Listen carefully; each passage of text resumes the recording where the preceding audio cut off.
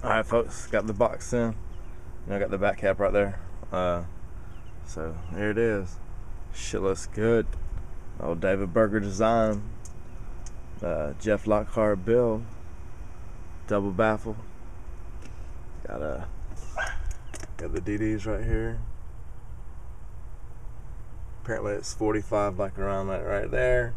And 45 back up in there. Shoot right on out of the port.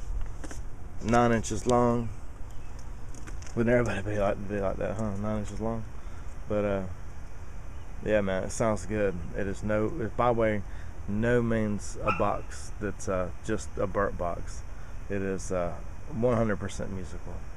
It fucking sounds great. Didn't have a lot of time to tune it out the other day. Um, because cops rolled up and found, eh, there's a couple issues, but uh, getting that taken care of. But uh, so got to play around with it yesterday, get some good, uh, you know, other songs and whatnot, and yeah, I, I was very impressed. Uh, impressed a lot of people at the show yesterday that they had up in uh, Mechanicsville.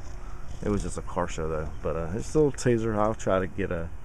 I'll, I'll make a video today of it playing. It uh fucking sounds great.